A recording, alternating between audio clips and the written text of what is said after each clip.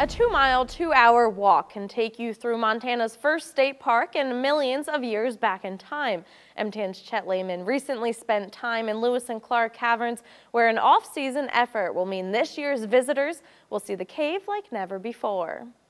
Lewis and Clark Caverns State Park will open for its 81st season on Wednesday. A snowy winter in the area above ground means an active visit underground they're kind of a great cave experience because a really wet year means the cave mm. is really wet coming into the spring off of that heavy snow winter. So we're gonna have a lot of dripping and activity in here. So uh, bring your uh, not nicest clothes maybe if you're coming out to see the cave this year. It was also active inside the cave this off season. Crews spent months working on high efficiency lighting and new handrails.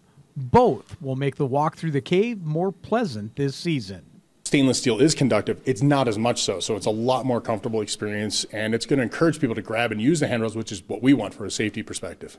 The new lighting will also enhance the visit. If you've never been or have been through several times, this season promises to provide something new for everyone we've definitely pointed out and brought out some features that you may have missed before that are still absolutely gorgeous and should be exposed to the human eye. I mean, I've had a couple things just walking through today with you. It was like, I've never seen that. And after over 2,000 trips to the cave, that's a rare moment for me. Lewis and Clark Caverns opens for regular tours on Wednesday and will continue through September. At Lewis and Clark Caverns State Park, Chet Layman, MTN News.